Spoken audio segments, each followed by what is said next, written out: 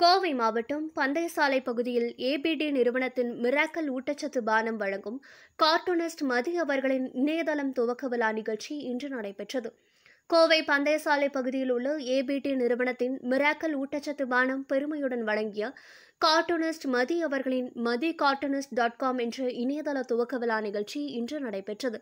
இந்த நிகழ்ச்சியில் சிறப்பு விருந்தினராக திரைப்பட நடிகர் சிவகார்த்திகேயன் கலந்து கொண்டு இணையதள பக்கத்தை துவக்கி வைத்தார். மேலும் இந்த நிகழ்ச்சி குறித்து விழா ஏற்பாட்டாளர்கள் கூறுகையில் கார்ட்டூனிஸ்ட் மதி ஆனந்த விகடன் என்ற புத்தகத்தில் மாணவ பத்திரிகையாளராக பத்திரிகை துறைக்கு அறிமுகமானவர் எனவும் தற்பொழுது டிஜிட்டல் ஊடகத்திலும் தடம் பதித்து வருகிறார் எனவும் தற்பொழுது துவங்கப்பட்டுள்ள இணையதளத்தின் மூலம் தனது பயணத்தை மேலும் தொடங்குகிறார் எனவும் ஆயிரத்தி தொள்ளாயிரத்தி தொண்ணூறாம் ஆண்டு முதல் இவர் வரைந்த சுமார் பதினேழாயிரம் கார்ட்டூன்களிலிருந்து தேர்ந்தெடுக்கப்பட்ட இரண்டாயிரம் கார்ட்டூன்கள் இந்த நிகழ்ச்சியில் இடம்பெறுவது சிறப்பு எனவும் தெரிவித்துள்ளனர். என்னை விழாவுக்கு அழைச்சது உண்மையிலே எனக்கு சந்தோஷம் பெருமை. அதை தாண்டி இவங்களோட இந்த மேடையை பகிர்ந்துக்கிறது எனக்கு கூடுதல் சந்தோஷம்.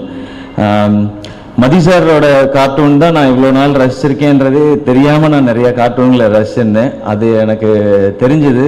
ஐயோ இவரை நான் இவ்வளோ லேட்டாக பழகுறோமே அப்படின்றது தான் எனக்கு தோணின விஷயம் ஃபஸ்ட்டு எனக்கு ஆரம்பத்துலேருந்து தோணுது தோணுது இவங்க எல்லாருமே பெரிய சாதனையாளர்கள். இவங்க கூட ஏன் என்னைய கூப்பிட்டாருன்றதான் நான் இப்போ வரைக்கும் உட்காந்து யோசிச்சுக்கிட்டே இருக்குது ஒன்னே ஒன்று தான் அப்புறம் அவரை பார்க்கும்போது தோணுச்சு. ரெண்டு பேர் மூக்கும் கொஞ்சம் ஒரு மாதிரி இருக்கு. அதனால கூப்பிட்டாரோன்ற ஒரு சின்ன டவுட் இருக்கு எனக்கு.